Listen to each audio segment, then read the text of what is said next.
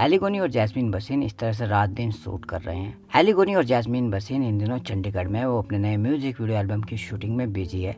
ये music video album Desi Music Factory के banner तले बन रहा है। एलिगोनी और जैस्मिन बसीन सुबह सुबह भी शूटिंग कर रहे थे। एलिगोनी और जैस्मिन बसीन शूटिंग करते हुए नज़र आ रहे हैं। वहीं एलिगोनी और जैस्मिन बसीन ने अपने इंस्टा स्टोरी में एक वीडियो भी डाला, जिसमें एलिगोनी और जैस्मिन बसीन काफ़ी थके हुए नज़र आ रहे हैं। एलिगोनी और जैस्मिन बसीन का ये म्यूज़िक वीडियो एल्बम जल्दी कंप्लीट होने वाला है। उसके बाद वो लोग मुंबई वापस आ जाएँगे। एलिगोनी और जैस्मिन बसीन के इस म्यूज़िक वीडियो एल्बम की कुछ वीडियो काफ़ी वायरल हो रही है, जो कि शूटिंग के दौरान की है, सुबह और रात की।